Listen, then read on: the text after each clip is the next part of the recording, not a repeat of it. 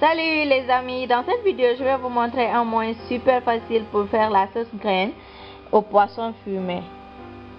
Donc pour cette recette vous aurez besoin de une boîte de crème de noix de palme, vous pouvez l'avoir dans votre magasin alimentaire africain, deux poissons fumés, vous pouvez utiliser de la viande, trois tomates fraîches purées, deux oignons râpés, trois gousses d'ail émincées, une cuillère à café de poivre, du piment en poudre, du sel selon votre goût, un bouillon cube facultatif, du piment frais.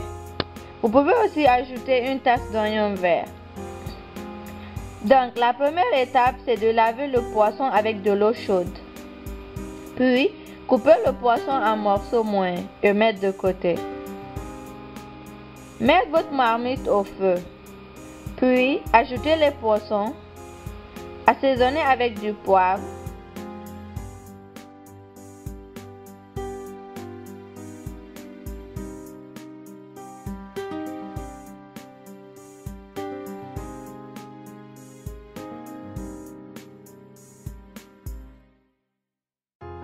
Ajoutez l'ail, les tomates et les oignons.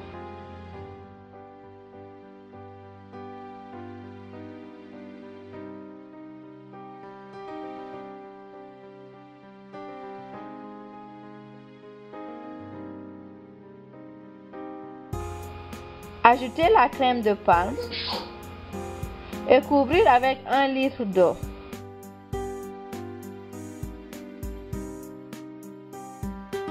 Rajoutez le cube de bouillon et salez selon votre goût. Vous pouvez maintenant pimenter votre sauce avec du piment en poudre et ajouter aussi les piments frais.